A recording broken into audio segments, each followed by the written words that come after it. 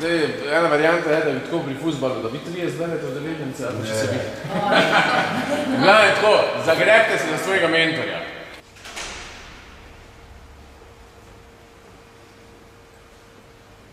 Prej ste se odločili za delavnico Gregorja Geča, pa če malo poveste, zakaj ste se odločili za to delavnico, pa v bistvu kako je potekalo vse skupaj.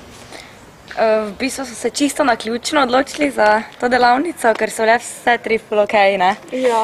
In, uh, ampak se je ta zdela pač tako malo bolj zanimiva, pa za neko skupinsko delo, pa to, ker je pač to ful pomembno. In uh, je bilo v bistvu ful fajn. Ja. Ne? ja. Um, v bistvu smo delali na tem, da so pač med sabo sodelovali, pa da se poslušaš, pa da paziš na delo v skupini, pač Ja. da ni samo en, ki skrbi samo za sebe in ni njegov ego od spredaj, ampak da v bistvu več ljudi in da v bistvu vsi sestavljamo gledališče. Da igra ne more biti, da samo en jo dela. Še čisto konkretno, kako je to potekalo mogoče. No, mi smo um, najprej korakali, pa v bistvu delali nekak, um, neki skupini, potem smo delali v bistvu na zaupanju, pa na tem, da se začutiš, za, pač vodili smo se, slepce smo uh, se šli in zdaj potem je šlo v bistvu vedno neko težavnostno stopnjo, se je stopnjevalo. No. Um, najprej eh, smo se z rokami vodili, potem s prstom, potem v bistvu že z glasom, potem smo postavili ovire in je bilo pač vedno težje in vedno bolj si moral zaupati in vedno bolj sodelovati.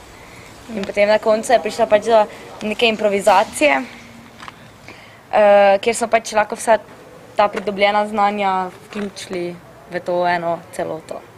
Vsak in tak, tak, tak, tak, tak, tak, tak, tak, tak, tak, in four.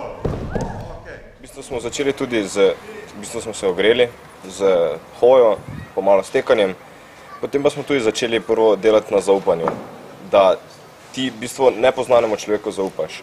In tako smo potem, ko smo pridobili zaupanje drugega, smo začeli v bistvu dejansko delati različne vaje in ne vem, se dvigovati, eh, vlačiti po tleh in v bistvu različne vaje.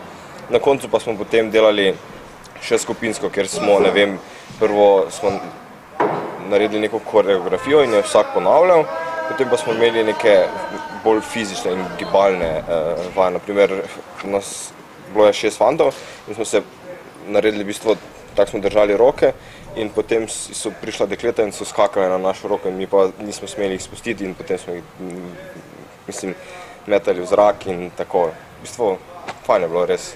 Smo se razgibali in dobili nove energije. Gibalna delavnica je mogoče malo bolj specifična kot ostali dve, potem da uh, mogoče uh, niso vsi recimo uh, bili prej v stiku z giba, samim gibanjem.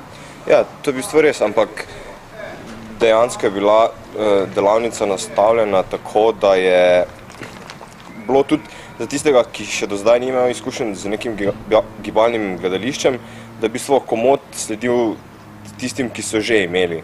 Naprimer, mi smo letos tudi delali eno predstavo, ki je bila bolj gibalno usmerjena in ne vem, nekaj vaj sem že spoznal, ampak spoznal sem pa tudi, mislim, videl sem pa tudi nekaj novih in se jih v bistvu nekako tudi naučil. Ne? Ampak tudi tisti, ki niso, so z lahkoto smo vsi opravljali, tako da je bila res dobro vodena. super, kako si štartal, ker si štartal res ono. uf, Takoj si šel Sem se odločil, ker se mi nekako po tistem opisu zdela zanimiva. Um, neka taka kombinacija, mislim, neka taka režijsko-igralska kombinacija, no, ker me pač režija bolj zanima kot pa igranje. Uh, zdaj, sama delavnica je bila nekako iz treh delov.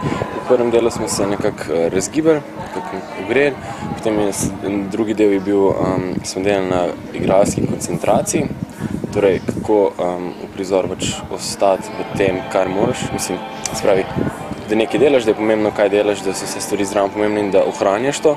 Um, tret, tretji del pa je bil pač predvsem na domišljiji, se pravi, kako iz danih stvari nekaj ustvariti, se pravi, bil je poudarek na domišljiji.